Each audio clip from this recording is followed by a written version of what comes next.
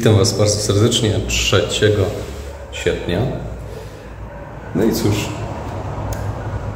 jak widzicie, witam Was też różowo. Jest to pewna podpowiedź co do tematu dzisiejszego dnia, chciałoby się powiedzieć, bo będziemy mówić sobie albo zastanawiać się nad miłością. W naszej książce z Biblią na co dzień mamy jak zwykle dwa fragmenty, które właśnie ten temat ruszają. Wasza miłość jest jak obok poranny, jak rosa, która szybko znika, mówi prorok. Natomiast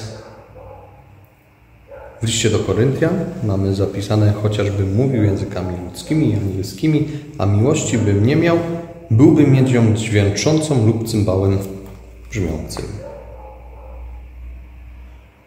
Miłość. Czemu ten temat tak mocno przewija się przez pismo? Tak jak symbolem miłości może być róż. Tak, można powiedzieć, że miłość jest dlatego tak ważna w chrześcijaństwie, ponieważ sama też jest symbolem.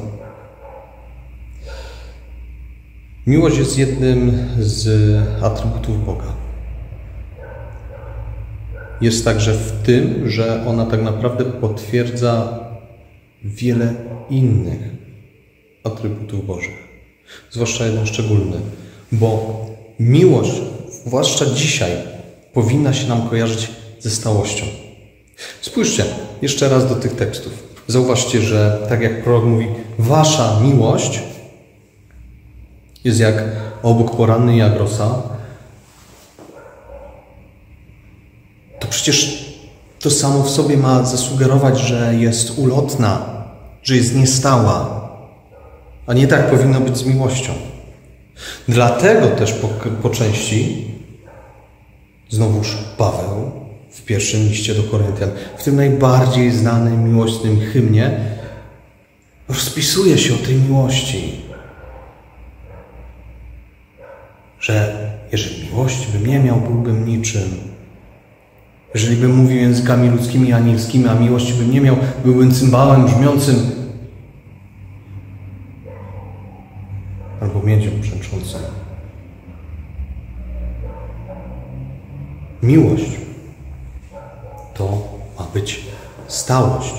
Miłość, której w życiu poszukujemy, ma być miłością na wzór miłości Bożej. I w pewnym sensie każde miłosne doświadczenie w całym szerokim spektrum, jakie ona ma, ma być naszą ścieżką ku poznaniu stałości, ku poznaniu czegoś autentycznego, szczerego, czegoś prawdziwego. To, że Paweł pisze w ogóle hymn o miłości, to wbrew potocznym, zwyczajowym użyciom tego hymnu, nie po to, żeby mówić o miłości tylko i wyłącznie małżeńskiej tak naprawdę on odnosił się też do problemu, który w chrześcijaństwie zaczynał być coraz bardziej obecny. Problemu braku szczerości, braku stałości w miłości. Bo ludzie zaczęli traktować miłość jako narzędzie do tego, aby pozyskać sobie chociażby zbawienie. Na pewno kojarzymy wszyscy te historie z dziejów apostolskich o dzieleniu e, dóbr, albo potem historia Ananiasza i Safiry. Przecież tam tak naprawdę problemem było właśnie to, że miłość była nieszczera. To był problem. I dlatego też niewiele dalej apostoł Paweł pisze, i chociażbym ciało swoje wydał na spalenie, a miłości bym nie miał, nic mi to nie pomoże. Na ileś może ciekawe jest to, że ten hymn, który miał nas pouczać o szczerości, wykorzystujemy przy ślubach i w takich okolicznościach romantycznych. Może na ileś jest to fajne zastosowanie, jeżeli pomyślimy, że miłość, którą budujemy tutaj na świecie, ma być przedsmakiem miłości, której doświadczymy u Boga. Stałości. Bo miłość, do której dążymy tu na świecie, to przecież sami ślubujemy sobie, póki śmierć nas nie rozłączy, a to jest bardzo długi czas. Moi drodzy, czas ten jest jednak mimo wszystko tylko ułamkiem w obliczu wieczności. I dlatego tutaj powinniśmy dołożyć wszelkich starań, żeby, żeby szukać takiej właśnie prawdziwej, szczerej, nieobłudnej,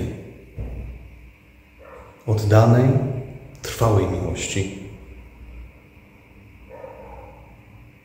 Czy znajdujemy ją w sobie?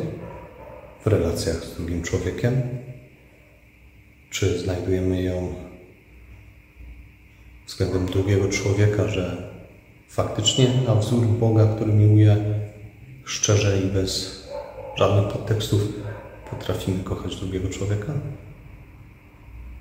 Mam nadzieję, że miłość, ta prawdziwa, towarzyszy nam i będzie towarzyszyć w naszym życiu.